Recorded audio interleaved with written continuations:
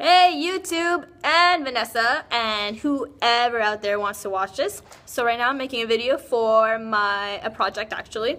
I have to talk about what my future clients want to see. Uh, actually, my name is Stephanie and right now I'm currently studying at Algonquin. I'm studying fitness and health promotion. I'm in my first year. It's a total of two-year program. I actually got into it because I really enjoy how the human body works and I fitness is a big part of me because I myself am an active person. Uh, as well, hopefully after this, when I graduate, I want to get into kinesiology.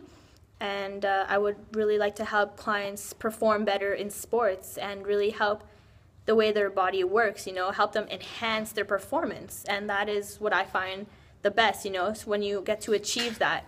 Um, as I said before, I can help you do that, and I'm an active person in general, and I'm very helpful. So now you know enough about me just a little bit, so keep that in mind and take care. Bye!